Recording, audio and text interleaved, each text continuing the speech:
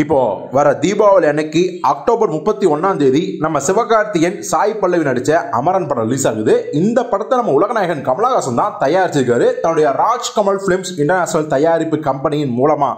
இப்போ கமல் அவர்கள் ஏற்கனவே பல ஹீரோக்களை வச்சு படம் தயாரிச்சுக்காரு தானே ஒரு பெரிய ஹீரோவா இருந்தாலும் கூட அன்றைய காலகட்டத்திலிருந்து இப்போ வரைக்கும் பல பெரிய ஹீரோக்களை வச்சு படங்கள் தயாரிச்சுக்காரு இப்போ சிவகார்த்தியை வச்சு அமரன் படத்தை தயாரிச்சுக்காரு சரி ஏன் இந்த படத்தை நான் தயாரிச்சேன் அப்படிங்கிறத கமல் அவர்களே ரொம்ப தெளிவாக சொல்லியிருக்காரு. அவர் என்ன சொல்றாரு அப்படின்னா நான் ஏற்கனவே தயாரித்த கடமை கண்ணியம் கட்டுப்பாடு சத்யராஜ் நடிச்சிருந்தது. குருதீப் புனல் நானும் அர்ஜுனும் சேர்ந்து நடித்த படம் சத்யா நான் நடித்த படம்.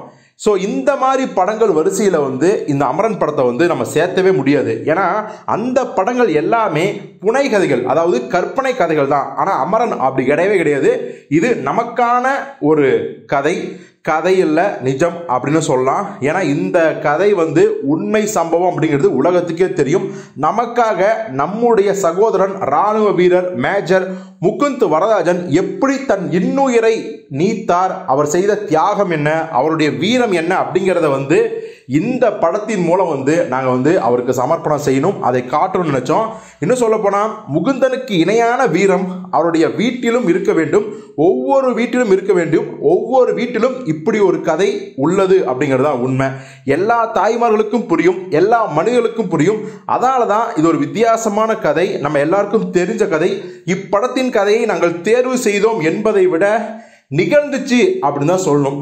சிவாவோட நடிப்பில் வெளிவந்த மற்ற படங்களை விட இந்த படம் ரொம்ப ரொம்ப வித்தியாசமான படமாக இருக்கும். ஸோ கண்டிப்பாக இந்த படம் வந்து எங்களுக்கான ஒரு பெருமை நமக்கான ஒரு பெருமை அப்படின்னு கமலஹாசன் அவர்கள் ரொம்ப டீட்டெயிலாக சொல்லியிருக்காரு.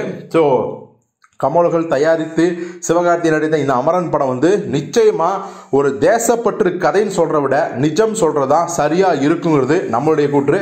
ஸோ இந்த படம் பார்க்குறதுக்கு யாரெல்லாம் ஆர்வமாக காத்திருக்கீங்க அப்படிங்கிறத கமெண்ட்ல சொல்லுங்கள்